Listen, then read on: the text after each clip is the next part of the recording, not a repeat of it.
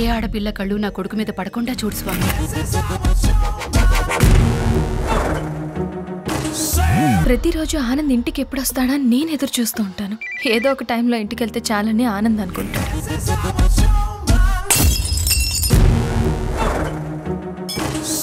ఎవడైనా ఒకటో రెండో క్రెడిట్ కార్డులు వాడతాడు. నువ్వేంద్రవై దునియాలో ఉన్న మొత్తం కార్డులు వాడుతున్నావు?